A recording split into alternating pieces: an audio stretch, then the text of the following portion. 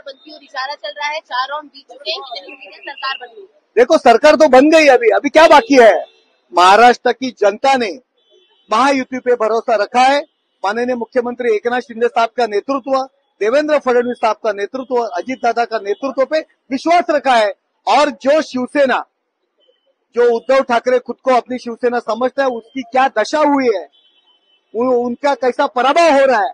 ये लोग हिंदुस्तान की जनता देख रही है। और महाराष्ट्र की जनता ने एक उत्तर दिया है सबको कि असली शिवसेना का शिवसेना जो हिंदू हृदय सम्राट शिवसेना प्रमुख माननीय बाला साहब ठाकरे जी ने शुरू की थी उसका नेतृत्व के काबिल एक नाथ शिंदे साहब ही है ये महाराष्ट्र की जनता ने उत्तर दिया है संजय राउत ने बोला है कि जो मैंडेट है उनका एक्सेप्टेबल नहीं है तो उस पर क्या कहना है संजय राउत का कहना है कि ये जो मैंडेट है वो एक्सेप्टेबल नहीं ये देखो गिरे तो भी तंगड़ी ऊपर ये संजय राउत की स्थिति है शरद पवार जी के उमरे वो हमारे मराठी में कहते हैं उमरे झिजवतात अशा पद्धतीने सोनिया गांधीच्या दारा दार के बाहर खड़ा रहने वाला संजय राउत उन्होंने उनके मुंह पे ये महाराष्ट्र की जनता ने चप्पल मारी है. अभी वोटों के रूप से चप्पल मारी है. कल से लोग सामने आके उनके मुँह पे चप्पल मारेंगे। सीएम के चेहरे पर क्या कहेंगे सर? बड़ी दावेदारी भाजपा ने कहा था जिसके पास ज़्यादा सीटें आएँगी उसका मुख्यमंत्री होगा। हालाँकि यहाँ पर आपने स्पार्कलिंग लाइट खुद शिंदे बने थे महाराष्ट्र ये देखो ये चुनाव माननीय मुख्यमंत्री एकनाथ शिंदे जी के नेतृत्व में हम लोग लड़े हैं। सब लोगों ने ये मान्य किया है कि एकनाथ शिंदे जी के नेतृत्व में ये चुनाव हम लोग लड़ रहे हैं। मैं शिवसेना का कार्यकर्ता हूँ। मुझे लगता है हमारा नेता एकनाथ शिंदे साहब है वो मुख्यमंत्री होना चाहिए मुझे लगता है।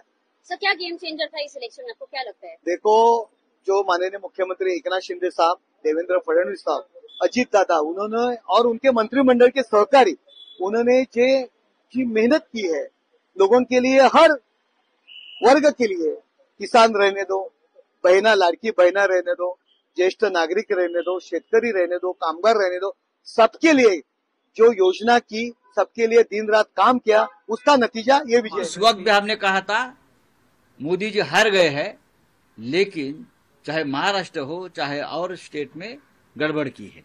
महाराष्ट्र के नतीजे भी उससे उससे ज़्यादा आने वाले थे अच्छे हमारी चार या पाँच सीटें लोगों ने चोरी की है। मैं आपको बता रहा हूँ।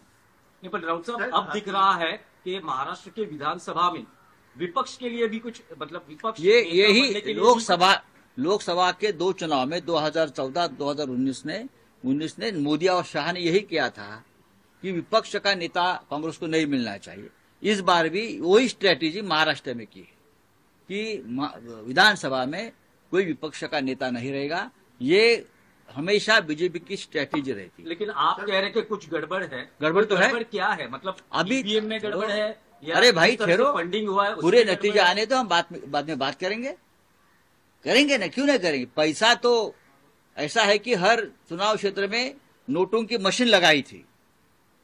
अरे, शिंदे का एक भी उम्मीदवार सिटिंग एमएलए गिरता नहीं, और शिंदे ये बोल रहे थे, हमारा एक भी सिटिंग विधायक गिरेगा नहीं। आपको मालूम होगा तो मैं इस्तीफा दूँगा। ऐसा होता है क्या चुनाव में कभी? हमारा एक भी नहीं गिरेगा। ये कौन सा भरोसा है? ये कौन सी है? ये कौन सा लोकतंत्र है? 200 के ऊपर किसी को चुनाव में नतीजे मिलते हैं क्या? जिस देश में जिस राज्य में सबसे बड़ी बेईमानी हो गई है इस राज्य की जनता बेईमान नहीं है। ये नतीजे ऐसे दिए अपने कि अपने राज्य को जनता को बेईमान ठहराया है। नहीं इस राज्य की जनता बेईमान नहीं है। राउत नतीजे जो आ रहे वो? जो नतीजे आ रहे हो महाविकास आघाड़ी को कबूल है? नहीं कबूल नहीं। तो आगे की क्या भूमिका रहेगी? नतीजे कबूल नहीं है। मैं मानता हूँ जनता को भी नतीजे कबूल नहीं है।